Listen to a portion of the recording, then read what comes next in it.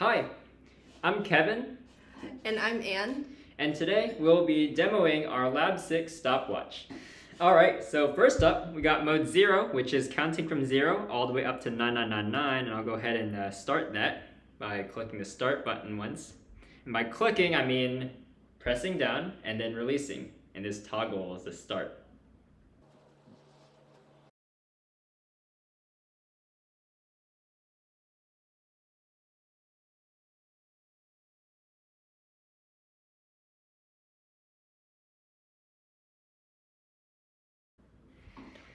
Okay, so we've hit 9999 and I will pause and hit reset and that is mode, mode uh, 1.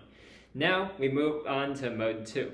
Mode 2 involves starting at a preset value and counting up to 9999.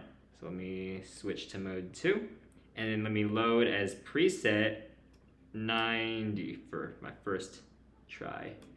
And now it will go to 9999.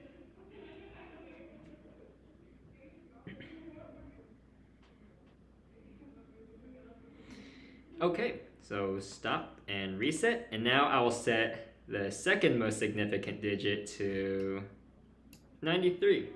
And let's start this again.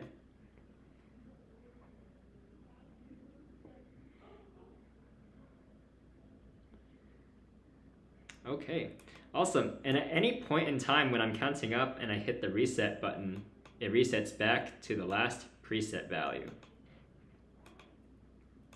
Now I will move on to mode 3, which is to start from 9999 and count down to 0. So here's mode 3. And let's start. I'll say mode four. But is that awkward?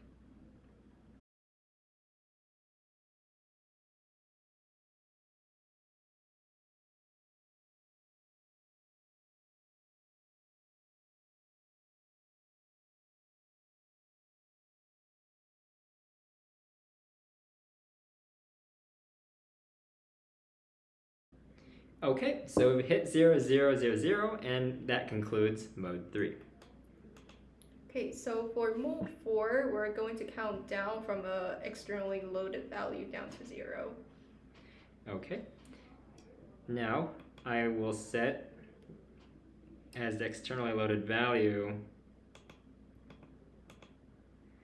10. And let's start that.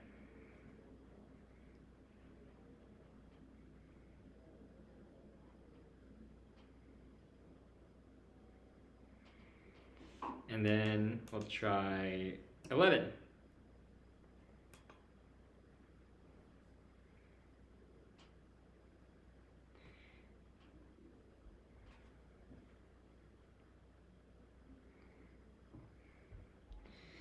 Yep, and just to assert the start button's functionality to toggle between start and stop, I will start, then stop, then start, then stop, and then start and press reset while it's starting, and then stop, and then press reset.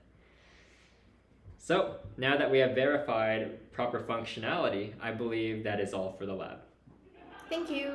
Thank you, and have a great rest of your day.